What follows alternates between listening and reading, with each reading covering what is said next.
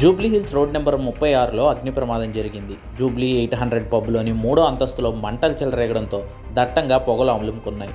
స్థానికులు పోలీసులకు సమాచారం ఇవ్వడంతో అగ్నిమాపక సిబ్బంది పోలీసులు ఘటనా స్థలానికి వెంటనే చేరుకున్నారు. బిల్డింగ్ ఖాళీగా ఉండడంతో ఎవరికీ ఎలాంటి ప్రమాదం జరగలేదని పోలీసులు వివరించారు. ఆస్తి నష్టంపై దర్యాప్తు తర్వాత ఓ అంచనాకు వస్తామని చెబుతున్న పోలీసులు వెల్డింగ్ పనుల కారణంగానే మంటలు చెలరేగినట్లుగా ప్రాథమికంగా భావిస్తున్నారు.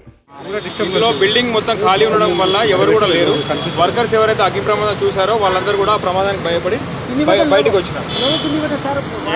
ఇందులో ఆస్తి? నష్టం జరిగినట్టుంది. ఆస్తి నష్టం అంచనా వేయాలి. ప్రాణనష్టం కానీ ఎవరికి కానీ గాయాలు కానీ ఎవరికి కూడా జరగలేదు.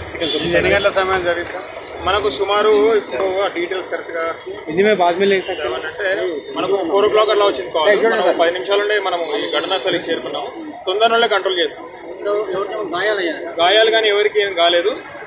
ఏసీ అవుట్డోర్ యూనిట్స్ ఏవైతే పెద్దగా ఉన్నాయి అవి మాత్రం బ్లాస్ట్ అయ్యి పొగ ఎక్కువ వచ్చి బిల్డింగ్ అంతా స్ప్రెడ్ వెల్డింగ్ వెల్డింగ్ చేస్తున్నారు. రెనోవేషన్ వర్క్లో భాగంగా వెల్డింగ్ చేస్తున్నారు. వెల్డింగ్ చేస్తున్నప్పుడు అది అంటుకుంది.